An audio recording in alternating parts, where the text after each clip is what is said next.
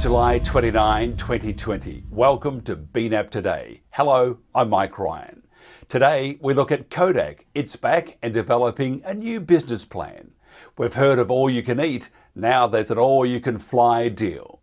And for those after a billion dollar view for a million dollar seat, there's Virgin Galactic. Plus, later we visit South Korea and Indonesia on how they're tackling COVID 19 and at the same time keep the heart of the economy beating.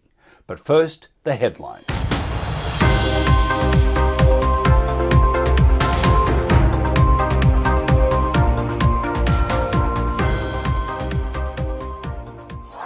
Photographic film pioneer Eastman Kodak has reportedly signed a deal with the US government to help produce pharmaceutical ingredients in the country. The U.S. has turned to an American corporate icon for help in its bid to boost domestic sources for drug ingredients in the fight against the coronavirus. Eastman Kodak reportedly has signed a deal with the U.S. government to produce pharmaceutical ingredients in the U.S. The news sent Kodak shares up fourfold in early trading. The Wall Street Journal reports Kodak was awarded a $765 million loan under the Defense Production Act to speed up domestic production of drugs and lessen America's reliance on foreign sources like China and India. That's the same act President Donald Trump invoked to aid companies building ventilators.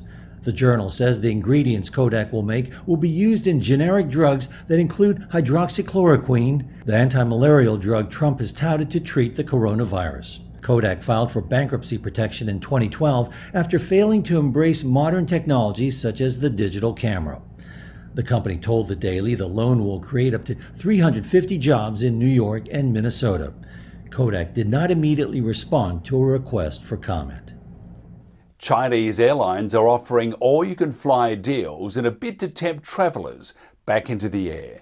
Julian Satterthwaite reports. It can be daunting getting on a plane these days. But airlines in China have a new strategy for getting people flying again. China Southern Airlines on Tuesday became the latest to roll out an all-you-can-fly deal. That makes at least eight carriers in the country offering the passes. They generally cost around $500 and allow unlimited travel for specified periods. Industry watchers say the deals have helped revive a ravaged industry, filling lots of otherwise empty seats. Rival China Eastern Airlines has sold over 100,000 weekends-only passes, according to state media. Hainan Airlines offers unlimited travel to and from its home province. And the global air travel industry is watching to see if all this works. China is viewed as a test case for recovery, as it reopened its economy months earlier than many other places. Airlines there are now operating about 80% of the flights they provided in previous times. And they're not the only ones banking on deals. Marriott Group is also eyeing unlimited passes, following the success of one sold in April. It offered a month of buffet breakfasts at its hotels in China for 588 yuan, about $83. Richard Branson's Virgin Galactic Space Tourism Company unveiled the interior design for its spaceplane, which the company says will ferry tourists and scientists to space in the not too distant future. Conway G. Gittens has a look inside.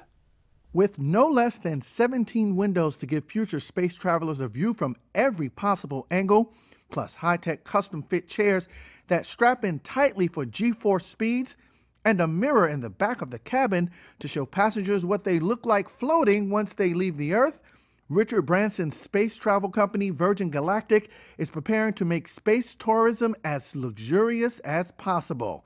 The billionaire entrepreneur's company revealed for the first time Tuesday what the inside of the space plane will look like when passengers finally get to take their suborbital flight to the edge of space. The space plane, as it is being called, is outfitted with just six passenger seats that will recline, allowing more airspace when passengers go weightless. And that's just the beginning, says Virgin Galactic's chief space officer, George Whitesides. And so we're going to have this incredible thing where people have curated lighting during the, the launch period, and then, then that lighting will change as it goes up into space. And then when they finally get into space and uh, can look down at planet Earth, the lighting will just fade to nothing so that people can just focus on um, you know, the beautiful sight of our home planet. Virgin Galactic has already sold out of its first batch of tickets, which cost $250,000 a ride for a 60 mile journey above Earth. The space plane has been outfitted with so much technology that passengers won't miss a thing during the 90 minute trip. So we, we actually have 16 cameras in the uh, in the cabin, and at any moment, at least two of those cameras will be focused on each um, passenger or, or, or, crew member, and so um, so people are going to be uh, just really documenting their experience as well in high definition stills and video, so that when they get down, they're going to be able to share that incredible experience with you know people on social, and they'll also get a special uh, curated film of their entire space experience that we'll be building from all of these different camera angles. By teasing the interior of the spaceplane, Virgin Galactic is trying to show it's making progress, even though it has yet to announce when customer flights will begin. It is currently in the late stages of flight tests. Branson is expected to lift off sometime this year, but he's not the only billionaire in the race to space. Amazon founder Jeff Bezos has Blue Origin, and Tesla CEO Elon Musk has SpaceX. Both companies have space tourism plans as well. Coming up next, Indonesia and its struggle to move forward.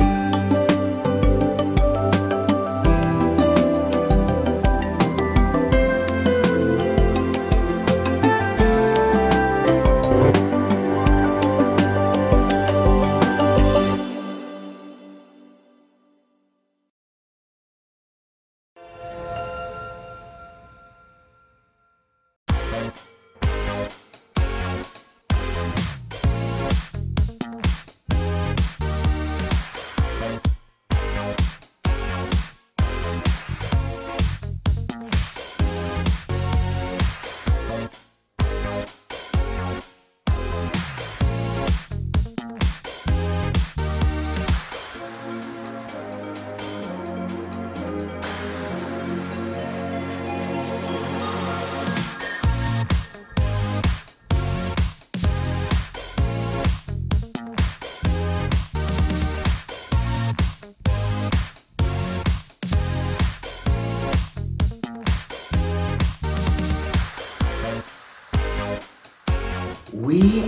are here. We are here. We are here. We are here. We are here. We are here. We are here. We are here. We are here.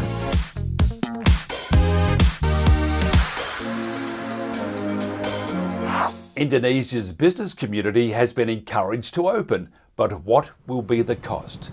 Indonesia Investments Managing Director Richard van der Schaar is an Indonesia expert with a decade plus focus on and experience in the Indonesian economy and business. Richard, thank you for joining us. You're welcome. Tell us about Indonesia investments and the services you offer your clients and uh, the areas of expertise. Well, Indonesia Investments is a is a business consultancy, and we mainly aim at informing foreign investors, uh, which are non-Indonesian investors, to uh, about all investment possibilities in Indonesia, and we give objective and we try uh, information, and we try to give as accurate information as possible, so um, so they really know the real situation. And what we mainly do is we write and, and publish uh, reports which give gives updates on the Indonesian economy, politics, and also social issues, as long as these topics uh, may influence the investment environment. Uh, we also uh, write research reports, sometimes on demand. So when there's an institution which uh, wants to receive a report on, for example, the automotive industry or whatever, we can we can we can uh, give it, or just general research reports. And we also, through our network in Indonesia, we can assist foreign investors to uh, to develop a company. We can find business partners. We can uh, we can arrange permits, um, investment permits, etc. So that's yeah, that those are the main activities of Indonesia Investments.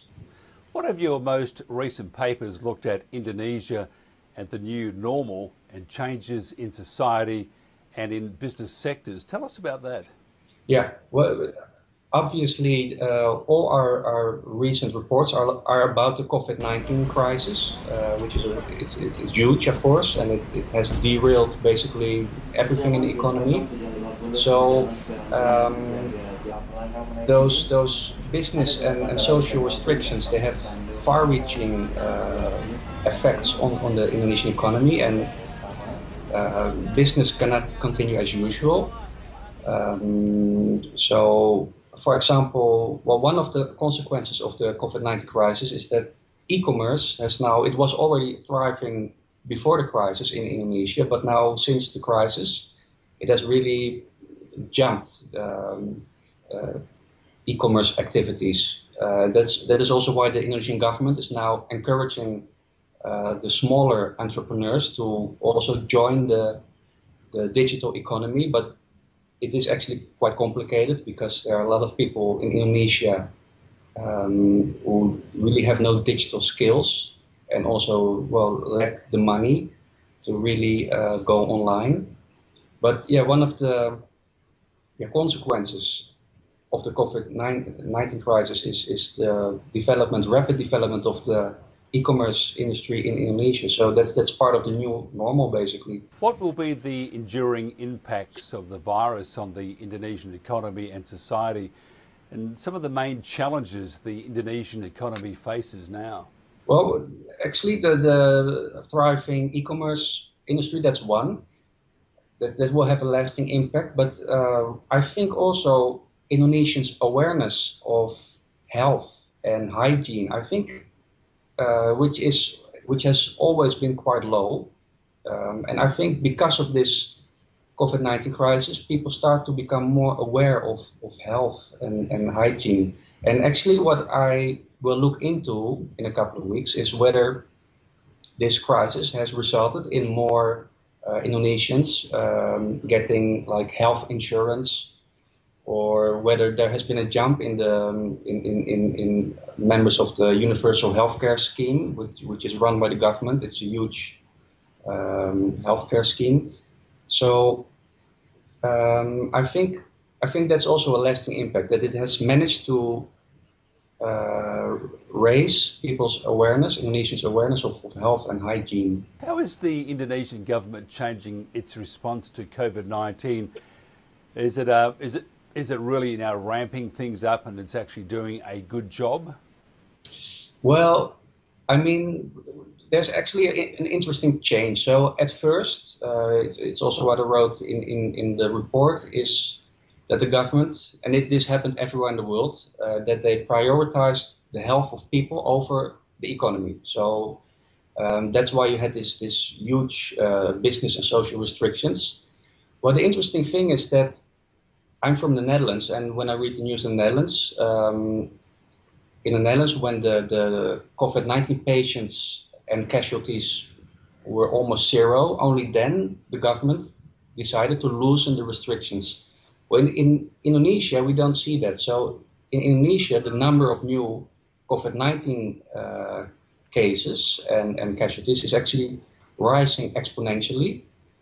But the government has already started to loosen the restrictions. So it's a, quite risky, but um, basically it has no other other other option too because if you keep um, if you maintain those tough restrictions, then you you kill the economy. So already we've seen millions of people in Indonesia becoming unemployed. Um, they are at risk of falling into full-blown poverty.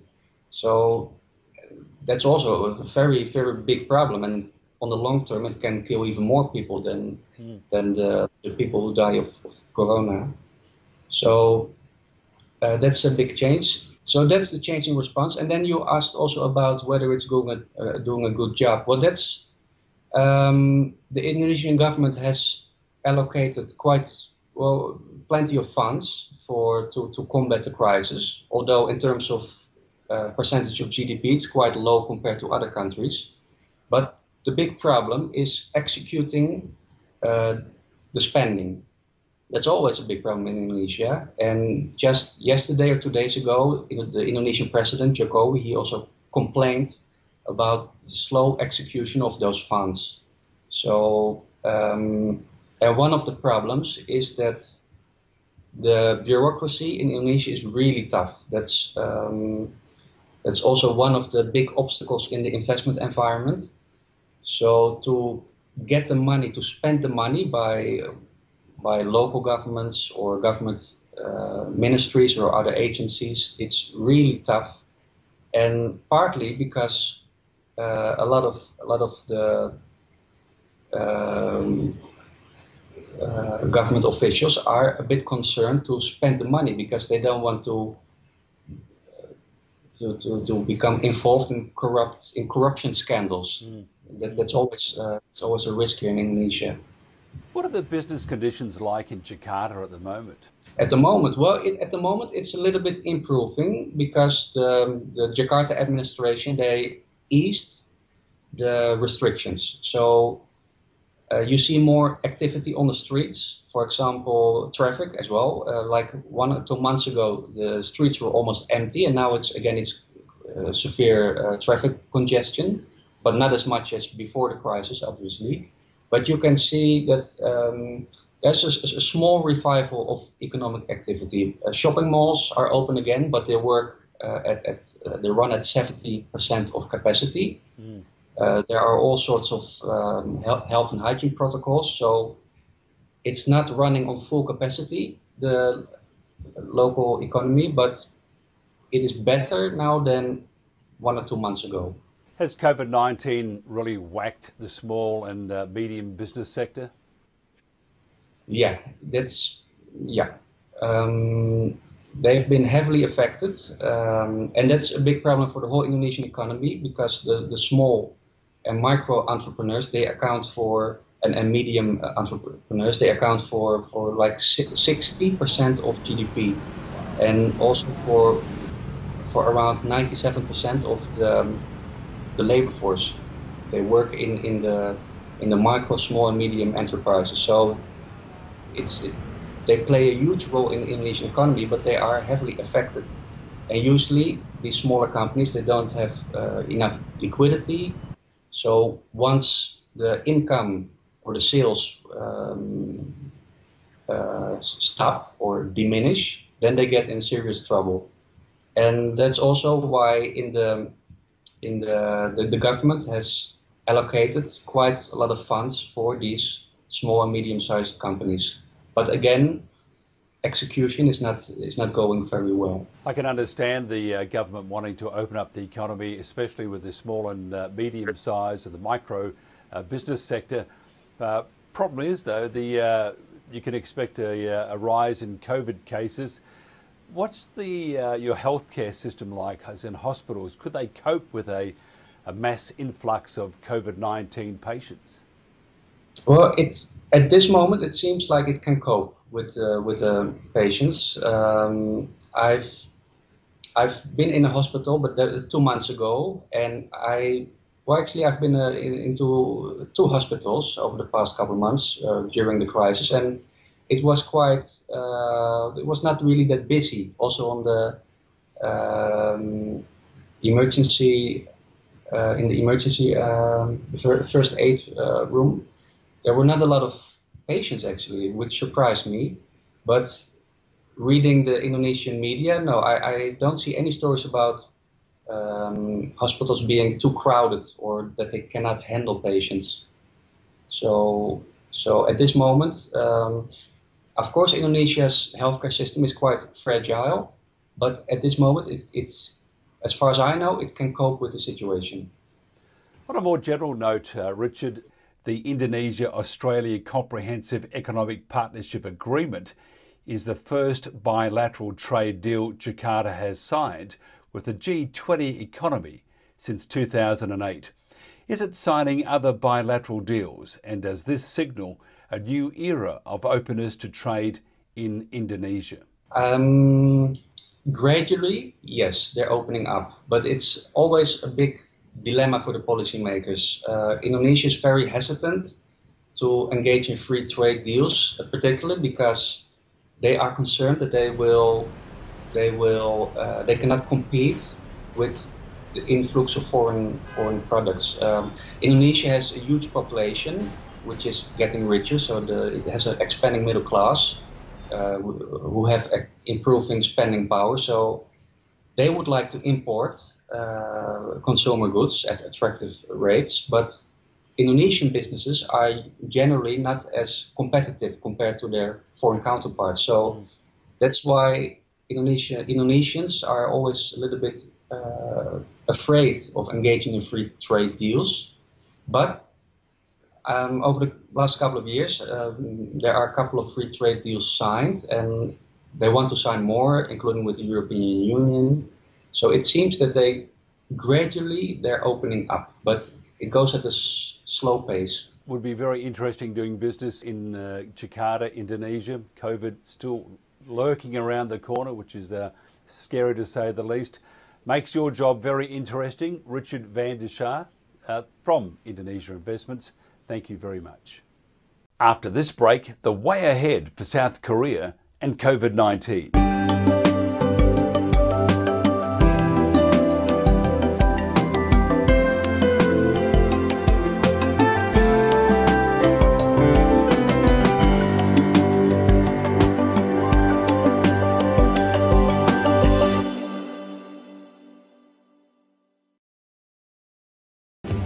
Are lions. We bring hope where it's needed. We are a global force for good. Join the movement. Support causes that matter.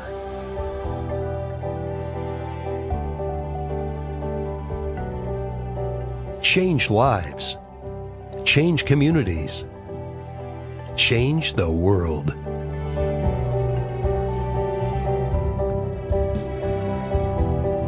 We can do more together than we can alone. Join in. Experience the joy of serving. Be part of the movement. Give back. Let's unite the world for good.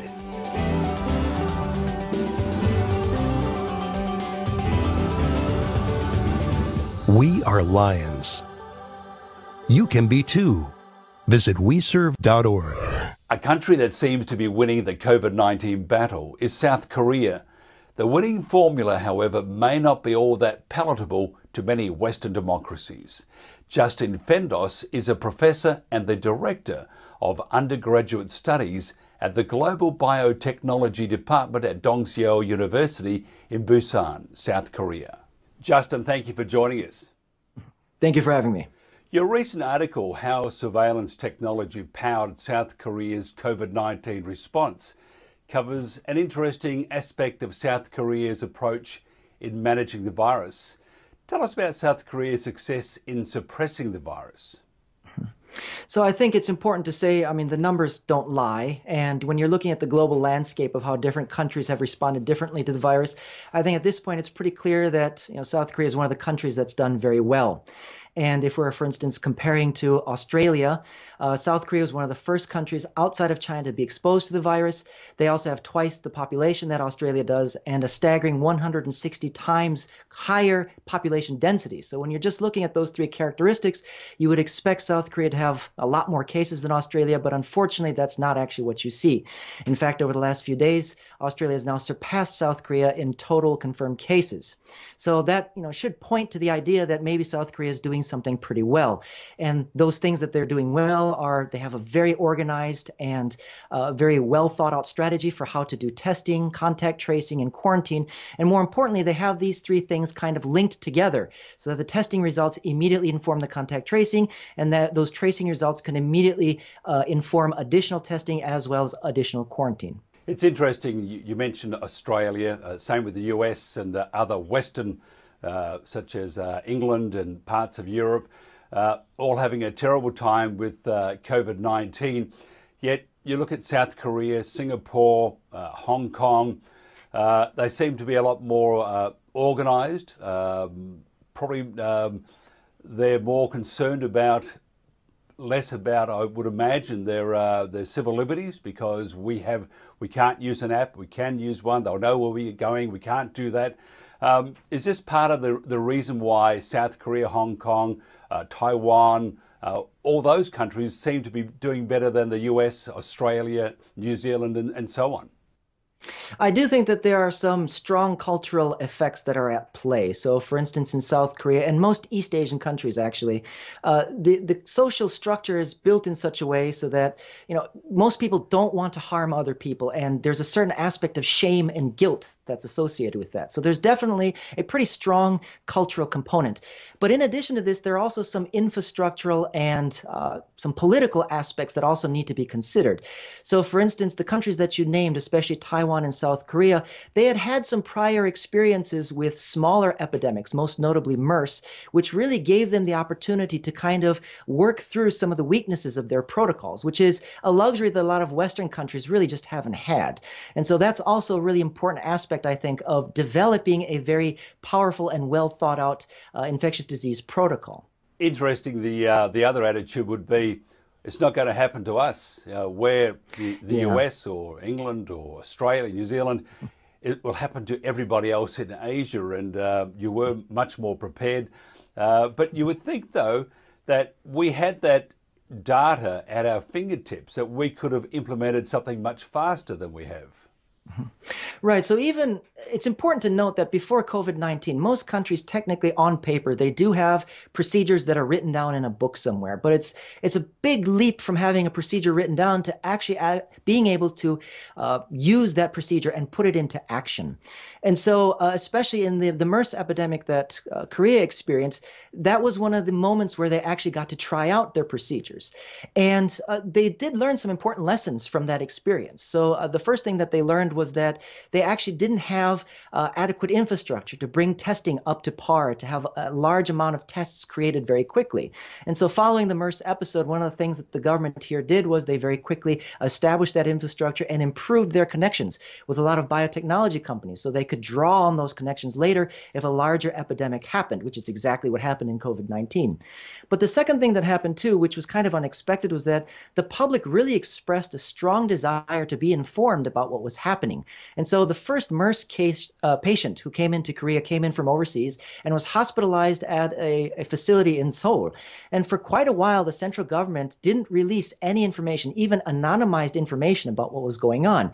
And what ended up happening was one of the doctors who was attending to this patient himself got infected, and he actually went around, visited a lot of different uh, public events, including one event with over 1,500 people. And so this generated a lot of public outrage. And so eventually, what happened was the municipal city government uh, stepped in and did their own contact tracing procedures to get ahead of the virus and to contain it, which is probably one of the reasons why Korea had a very low death rate from MERS. And so after that experience as well, uh, there was a lot learned about the importance of information and what the public expectation are for that information. And so, one of the real powerful things that resulted from that was this uh, anonymized use of information. So, for instance, if a newly diagnosed patient appears in my city of Busan here today, within 24 hours, I'll receive a text message about that patient and where they've been in the last week or so. And that information is very helpful because it informs me about whether I may have inadvertently come in contact with that person or visited some of the places that that person visited. And it allows me to make good decisions about whether maybe I should be tested or put into quarantine. Interesting. Again, the cultural differences uh, come to play there. If, if that happened in uh, in the US, there will be an outcry of my privacy has been uh, broadcast around the world, whereas in Korea and or South Korea and uh, Taiwan and those places, it's entirely different. And this probably is one of the reasons why the West they're having a, a real problem with it. Yeah, I do think so, but there's also a legality aspect too that needs to be considered. So the way that Korea the, uh, empowers their public health officials to have access to various types of surveillance information is they have essentially created a law that allows public health officials in a pandemic or epidemic situation to repurpose the access to that information that law enforcement authorities would normally enjoy. So uh, there are very types of information that law enforcement authorities have been using to track down criminals, to catch money launderers, catch tax evaders, and so forth. So some of those pieces of information are credit card transaction logs. So if you're a newly diagnosed patient today, within 10 minutes, public health officials can know, you know, where you spent your money in the last week, and this tells you which buses you took, which subway you took, uh, where you had coffee, where you went to dinner. And so that's kind of the beginning of how the contact tracing procedures uh, are, are started. And so that kind of information, even 10 years ago, was already available for law enforcement authorities. But the laws more or less just allow that same those same protocols to be repurposed by public health uh, officials. And that law, fortunately for Koreans, was put in place before the COVID-19 pandemic. Whereas in a lot of other countries, even though they might have the laws specific for law enforcement, they don't have the law that allows public health authorities to repurpose those same procedures. And I'm guessing a lot of political authorities in most Western countries probably have already made the decision that the cultural barriers are too great to try to push that kind of law through their Congress or their assembly at this time, which you know I think is unfortunate because I think that dialogue does need to start happening because without that kind of centralized approach to contact tracing, you're really not going to be able to contain the virus very well. Tell me about businesses. Um, uh, did you have many shutdowns? Um, Korea has never gone through any, you know, large-scale shutdown. I think the largest scale we gone we went through was when the city of Daegu was in the middle of its uh, the height of its pandemic, and for like a week most things were shut down. But even there, it wasn't a complete shutdown. For businesses, there were also some uh, targeted uh, shutdowns. So, for instance, uh, night establishments like uh, nightclubs and bars and karaoke bars, some of these were shut down for short periods of time in a targeted manner in certain locations where they were having uh, some of these outbreaks or clusters. Uh, but by and large, most businesses were, you know, completely left alone. Department stores stayed open, restaurants stayed open. Now, that doesn't mean there wasn't any economic damage, though, because you know, especially when the epidemic was at its height, many people stayed at home, so there were revenue losses. Uh, but there was really no large scale shutdown. Surveillance, uh, another uh, hot topic uh, throughout US, Australia, blah, blah, blah, blah, uh, but very necessary. Uh, tell us about your surveillance in your country. Right. So, as I mentioned earlier, one of the types of information that's used for contact tracing surveillance purposes eh, are these uh, credit card transaction records. And again, those are available within 10 minutes because all credit card companies in South Korea uh, starting a decade ago are, were required to automatically store all their transaction logs onto government servers. Now, that doesn't mean the government can just look at them anytime they want. They do have to have a reason to go do it. So that's I, either a law enforcement trigger or a public health trigger. The second type of information that they have access to um, are the uh, mobile phone location logs. So whenever you turn your phone on and it connects to your service provider, your service provider automatically creates a log of all the transmission towers your phone has connected to. And so, you know, when you're in a certain geological, uh, geographical area, there are many towers around you, and to give you the best signal possible, the system will want to connect you with the tower that's closest to you. And this information, it doesn't pinpoint lo- your location, but does give you some basic idea of what neighborhood you might have been in. And so this information can be used in conjunction with uh, the credit card transaction logs to give you a basic idea of, you know, did this person actually stay at home when they said they were going to stay at home? Were they actually at this coffee shop that was in this department store? Um, but that's really already a very good starting place to uh, to go deeper, dig deeper, and to find more detailed information. And that detailed information usually comes through the third type of information, which is the CCTV uh, surveillance camera footage. So Korea has a pretty high density of cameras. Uh, most of them are used for uh, catching traffic violators and parking violators, so they're usually on the street. But a lot of establishments also independently have them. So coffee shops, department stores will have them. And so uh, the law is already written in such a way that when you have a new confirmed patient, there is a public health trigger.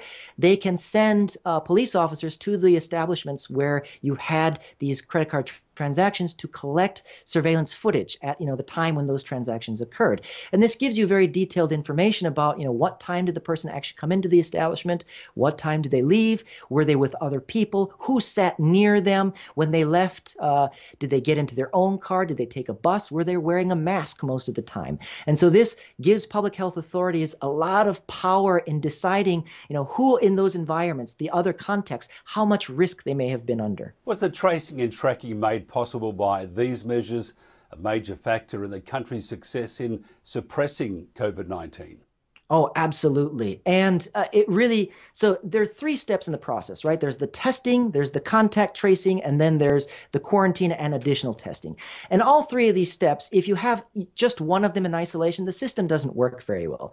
The power really happens when you have all three coupled together so that the first test informs the contact tracing, and then the contact tracing informs the next round of tests and the next set of quarantines. And you use this process in kind of, you know, a an, an onion shaped pattern of outward testing and contact tracing to try to get ahead of the spread of the virus and to you know contain it that, that's literally what you're doing you're trying to contain the virus in australia they had a, a an app called covid safe which was a um, mm-hmm. uh, a voluntary, uh, free of course, voluntary, um, but it just didn't work. Do you think uh, government uh, initiatives that this is going to happen, and whether you like it or not, because it's going to help the economy still tick over, save people's lives, is better than the voluntary uh, apps and, uh, and, and, approach? Uh, so the voluntary apps have a lot of problems. Now, I, I, would like to say that having some app is probably better than having no map, no app but the difference is probably marginal. And you know, it'll depend a lot on how many people are using it, and most importantly, what's the reliability of the information that's being put into the app? Because a lot of these third-party apps that I've seen, I haven't seen the Australian one, but I've seen the one in the UK, and a lot of these apps they depend on self-reports. So even though the locational information may be automatic because you turn on Bluetooth or GPS, you know, reporting whether or not you've had symptoms or whether you've tested positive or negative, that information depends, as far as I know, solely solely on the users. And that creates a lot of re- uh, reliability issues because someone who has a cough today might think it's allergies when in fact, you know, they're sick. Or someone who's been diagnosed as positive may be reluctant to report that on the app because they're afraid of something else happening that, you know, they want to avoid. And then you always have those small population of people who are just, you know, interested in having fun and mucking up the system by reporting that they've tested positive even though they haven't. So the centralized government oriented approach is kind of essential for really having reliable information because the most reliable information is the official diagnosis that you receive. And there's nothing that's going to be more reliable than that. So if for the input of the app you can rely on those official diagnoses, that will really make the app, at least the input part of it, reliable. But then you also have trouble with the output part. So once people have been informed, okay, you were a contact of someone who was diagnosed yesterday, what are they actually going to do with that information? And here, you know, a lot of, especially in the U.S., we one of the problems that we've seen, two of two of the problems that we've seen. One is that the initial messaging about how to handle and deal with the pandemic was very mixed, and so you already have a lot of people who are convinced that you know this is a, a liberal or left-wing conspiracy and that the media is lying to them and so forth. And so even if you give them the right information, they probably won't act upon it in the right way.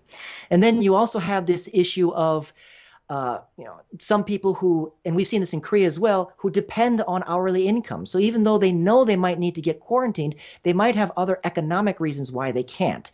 And so creating some kind of a protocol and some kind of a structure for them to safely take some time off while they're getting tested, those kinds of procedures are things too that even in Korea, we're going to have to develop a little more as we move forward. What about masks? I mean, the there was our chief medical health officer said, no, we don't need a mask. And then oh. they're saying, well, perhaps we do. Victoria now has made it, in Australia has made it mandatory that they wear masks. Uh, yet other states are saying, no, don't need a mask. What, what are your views? Because you're one of the experts in this. Mm-hmm.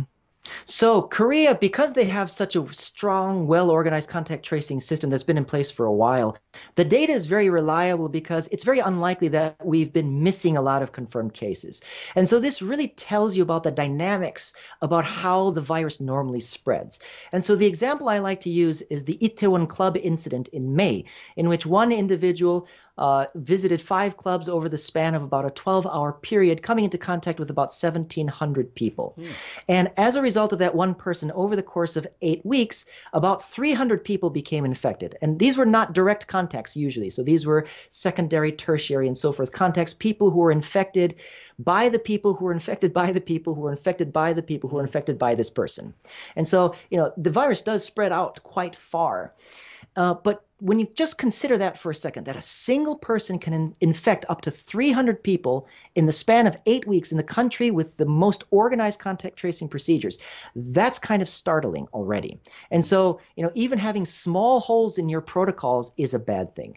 Now, where the masks come in and where Korean data is also very informative is of all the cases we've had in Korea so far, about 90% of them have been uh, either family members, friends, or work colleagues of the first diagnosed patient. So it seems like sharing a confined environment for you know moderate to long periods of time that is really the main mode of transmission. And then the remaining 10% have been a mixture of other kinds of environments like weddings or funerals and things like this. And so when you're thinking about how the virus spreads, uh, it really is about the infected individual you know, kind of marking their territory with virus, shedding virus in a location, in an environment, and then other people picking that virus up.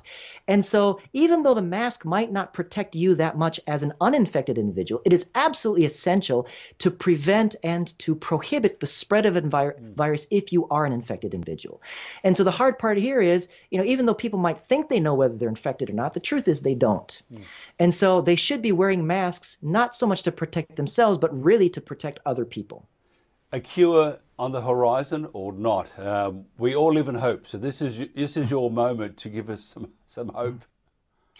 Okay, so uh, if you already have the virus, I mean, there are a couple drugs now that seem to be hopeful for reducing the symptoms, for reducing the time that you spend with severe symptoms in the hospital. So far, we haven't seen any magic bullets. So, probably cures once you're in the hospital with severe symptoms. The cures, I don't know if you can call them that, but the uh, the the treatments that you'll get will probably be combinations of two or three drugs moving forward. That's probably what we're going to see. So it's still better not to get sick. Now, having said that, I do want to mention that there's a lot of evidence now that people who do get sick but recover seem to get uh, organ damage at a fairly alarming rate. So these are things like you know kidney damage, intestinal damage. Mm. Uh, Mr. Quest uh, from BBC, actually, he put out a very good article explaining how he seemed to have lost his eye hand coordination. And there are a lot of accounts like this. So it seems like the virus can do some what appears to be permanent damage to a lot of different organ systems. So you really don't want to get the virus if you don't have to. So what's probably going to happen first is we're going to get vaccines. Uh, and, you know, vaccines are preventative. Um, probably there are going to be a lot of different vaccines that come out, and probably the vaccines that each person is going to have access to first is going to be the one that their country makes first, mm. uh, because you know that's just politically the right way to do it. And there, are, unfortunately, still a lot of questions that need to be worked out once a, virus, a vaccine is ready. So, for instance, who's going to get it first? What's the order? What criteria are going to use? How much is going to cost? And so there are a lot of questions yet that still haven't been worked out on a you know central government level about what's going to happen once the vaccine is being produced in large enough quantities.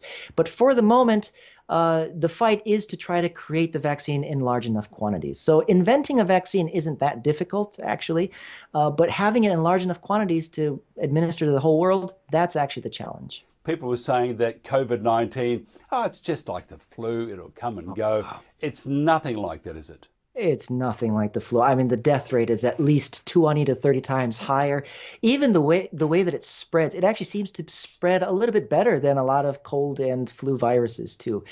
Um, but the thing that's really scary about this virus is it doesn't affect everybody in the same way. So, you know, if the death, if you got it and the death rate was 80%, then it wouldn't spread as much because everyone who got it would probably die very quickly. Mm. I, and you know, I don't mean that in any facetious or lighthearted manner. That's just, you know, the pure hard logical science of how it works. But because this virus not only can give people severe symptoms, but it can also hide very well, especially in younger and healthier individuals, um, it spreads really well, even without symptoms being noticed. So it really is a really bad virus. It's I mean, a, it, it's it's a yeah. perfect terrorist, isn't it? It really is. And, you know, I'm really disheartened that a lot of countries still are not having that organized dialogue about, you know, on a federal level, what can we do to save lives? Because we're literally having hundreds, sometimes thousands of people die every day. Mm. And, you know, I understand privacy concerns, and believe me, I've written articles about the importance of privacy and you know my ownership of my anonymized data. But the data that's being used in Korea for contact tracing, number one, it's already collected by mm. companies throughout the world. I mean, your your service provider already knows, already has logs of which tower is your phone connected to. Mm. And, you know, transaction logs are also used by most countries to catch, catch uh, tax evasion and, you know, monetary fraud and things like this. So it's really just an issue of repurposing existing laws for this pandemic situation. But mm. there isn't even any dialogue about it. And that is really, I think, dangerous. I might just uh, nip into the scotch a bit earlier. Justin, sorry. Uh, thank you very much. If I don't ever thank speak you. to you again, you know that I've just gone to the to the other side too. Mm-hmm. Uh, look, thank you very much for your time, and uh, we must do this more often. Uh, you speak a lot of sense, and uh, your country is one country that is tackling this head on and making some inroads. Thank you very much. Thank you for having me. And that's it for BNAP today, July 29, 2020. Be safe and be kind. I'm Mike Ryan.